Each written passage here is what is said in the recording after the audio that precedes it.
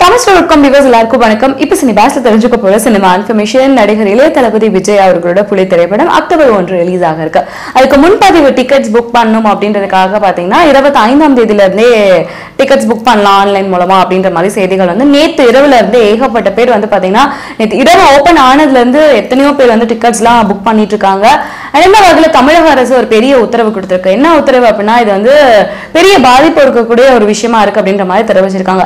எழுபத்தி ஐந்து கோடி நூறு கோடி ரூபாய்க்கு இந்த திரைப்படத்தை வாங்கியிருக்காங்களாம். ஸோ நூறு கோடி ரூபாய்க்கு வாங்கியிருக்காங்க அப்படின்னா தியேட்டர்ஸ்ல வந்து டிக்கெட்ஸ் அதிக விலையில அதாவது ஆரம்ப அந்த ஒரு பத்து நாளைக்கு பாத்தீங்கன்னா ஏகப்பட்ட ரசிகர்கள் ஃபர்ஸ்டா பார்க்கணும்னு விருப்பப்படுவாங்க. ஸோ முதல் இரண்டு நாட்கள் மூன்று நாட்கள் ஆன்லைன் புக்ஸ் பண்ற அந்த ஆன்லைன் புக்கிங் ஒன் வீக் பாத்தீங்கன்னா டிக்கெட்ஸ் அதிக விலையில வித்து வச்சாதான் நூறு கோடி கிட்ட வசூல் வந்து மீண்டும் எடுக்க முடியும். நூறு கோடி அதுக்கு மேலேயும். ஆனா தமிழக அரசு என்ன சொல்லியிருக்காங்க அப்படின்னா அதிக விலை வைத்து டிக்கெட் விற்கக்கூடாது அப்படி வித்தாங்க அப்படின்ற செய்தி வந்துச்சுன்னா அரசு நடவடிக்கை எடுக்கும் அப்படின்ற மாதிரி தெரிவிச்சிருக்காங்களாம்.